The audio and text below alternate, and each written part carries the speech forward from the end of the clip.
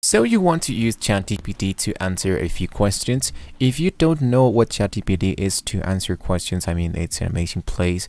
You are probably not going to be using uh, Google anymore because in my case, that's a way of how we can just start to actually working. If you are having some essays for your own projects, for work, for personal usage, um, if you have any questions, you can open any tab and here you have the Google tab right? And here into the Google tab I want to uh, I want the answer of what are the type of bodies. Enter mark. And we have some most people are unique combination of the three body types ectomorph mesomorph and endomorph. So can I do this into ChatGPT as well if you go into the chat.openai.com uh, here's going to be appearing a, a, lot of sections. Of course you want to have an account you want to sign up you can use a Google account or a Microsoft account. It's going to be just really really simple. But once you do have this one available you want to ask uh, for whatever question you can do. So for example if I typed a new chat here I have my different versions so I can ask the same question. What are the types of bodies? Enter mark and ChatGPT is going to be answering our questions. Sometimes this might be taking a little bit more than Google, sometimes this actually takes just less than one second, but this is totally depending on how many people are inside ChatGPT.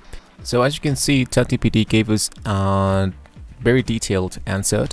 There are several types of body, including solid bodies, liquid bodies, gas bodies, plasma bodies, composite bodies. So if you are looking for, uh, let's say that you want to figure out what kind, how do I know?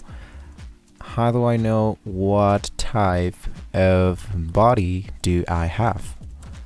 Do I have? So as you can see, this is a conversation between you and the chat ChatGPT. So that's the reason why this is an artificial, an artificial intelligence that can be helping you to answer almost any question.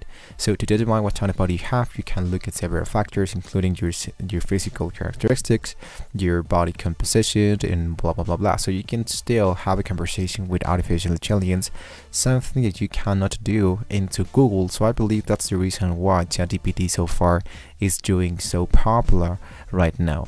So uh, with that being said, guys, this is the reason. This is that's the way how we can use the ChatGPT, how we can start some different chats. You want to have one conversation, one subject into one chat.